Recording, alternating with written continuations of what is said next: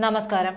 പൂക്കോട്ടെ സിദ്ധാർത്ഥന്റെ മരണത്തിൽ മുഖ്യമന്ത്രി പിണറായി വിജയൻ തിരഞ്ഞെടുപ്പ് മുന്നിൽ കണ്ടാണ് വീൺവാക്ക് പറഞ്ഞത് എന്നുറപ്പ്.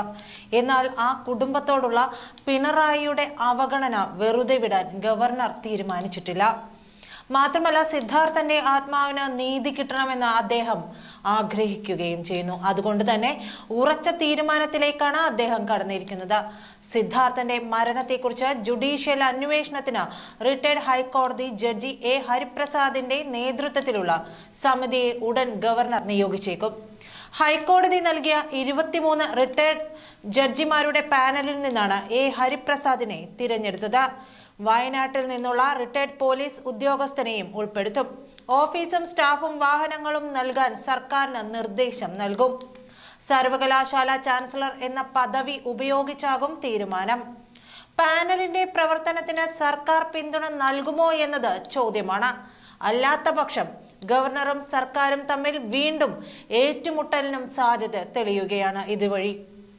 പൂക്കോട് വെറ്ററിനറി കോളേജിൽ വിദ്യാർത്ഥിയായ സിദ്ധാർത്ഥൻ മരിച്ച സംഭവത്തിൽ കൂടുതൽ വിവരങ്ങളുമായി ആന്റി റാഗിംഗ് സ്ക്വാഡിന്റെ റിപ്പോർട്ട് പുറത്തു വന്നിരുന്നു. സിദ്ധാർത്ഥൻ ക്യാമ്പസിൽ ഒപ്പിടൽ ശിക്ഷയ്ക്കും വിധേയനായി എന്നാണ് ആന്റി റാഗിംഗ് സ്ക്വാഡിന്റെ റിപ്പോർട്ടിൽ പറയുന്നത്. ഈ സാഹചര്യത്തിലാണ് ഗവർണർ അന്വേഷണത്തിന് മുൻകൈ എടുക്കുന്നത് ദിവസവും യൂണിയൻ പ്രസിഡന്റ് അരുണിന്റെ മുറിയിൽ പോയി ഒപ്പുവയ്ക്കണം. സിദ്ധാർത്ഥന്റെ മരണവുമായി ബന്ധപ്പെട്ട പ്രതിപട്ടികയിൽ ഉള്ളയാളാണ് അരുൺ. പ്രതികൾ പോലീസ് സ്റ്റേഷനിൽ ഒപ്പിടാൻ പോകുന്നതിന് തുല്യമായ ശിക്ഷയാണ് സിദ്ധാർത്ഥന് നൽകിയത്. എട്ട് മാസത്തോളം സിദ്ധാർത്ഥനെ ഇങ്ങനെ നിർബന്ധിതമായി ഒപ്പിടുവിച്ചു എന്നാണ് സഹപാഠിയുടെ മൊഴി. പ്രതികൾ സിദ്ധാർത്ഥനെ ലക്ഷ്യമിടാൻ കാരണം സിദ്ധാർത്ഥൻ ക്യാമ്പസിൽ തിളങ്ങുന്നതിലുള്ള അസൂയ കാരണമാണെന്നും റിപ്പോർട്ടിൽ പറയുന്നുണ്ട്.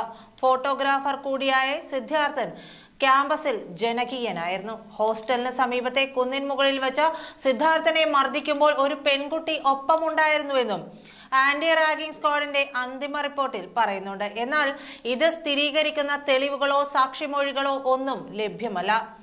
അതിനാൽ തന്നെ ഈ വിഷയം പോലീസിന്റെ പരിഗണനയ്ക്ക് വിടുകയാണ്.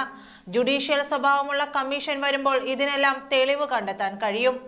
സിദ്ധാർത്ഥൻ മരിച്ച പതിനെട്ടിന് ഉച്ചയ്ക്ക് മുമ്പ് ഹോസ്റ്റലിലുള്ള വിദ്യാർത്ഥികൾ കൂട്ടത്തോടെ ബത്തേരിയിലും കൽപ്പറ്റയിലും സിനിമ കാണാൻ പോയതായും കണ്ടെത്തിയിട്ടുണ്ട്.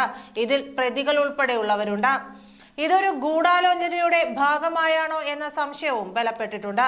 നൂറ്റി അറുപത്തിയാറ് വിദ്യാർത്ഥികളിൽ നിന്നാണ് സ്ക്വാഡ് മൊഴിയെടുത്തത്.